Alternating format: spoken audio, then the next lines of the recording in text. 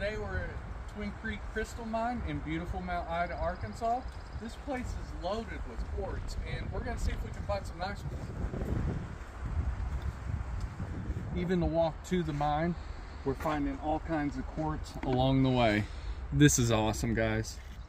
What you got in your hand, Laura? Quartz crystals.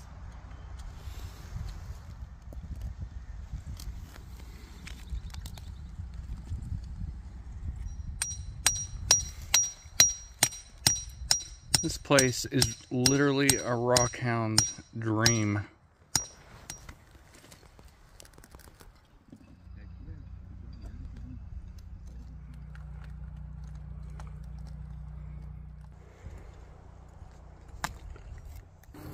The quartz is just everywhere. So I'm sitting on quartz and I'm looking at quartz and I look over and I see more quartz. Literally pay 200 bucks and you can take and keep whatever you want to find. This is one of the best and most rewarding rock hounding experiences I've ever had.